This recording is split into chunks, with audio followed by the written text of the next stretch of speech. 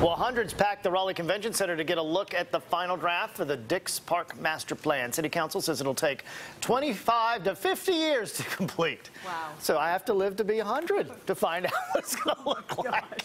But residents are getting excited for Raleigh's largest park. The design and the and the preparation on this is really exquisite. Um, and I, from what I've seen online, I think it's going to be pretty dynamic. The plan still has to get the final approval from City Council, though. That is slated for later this month.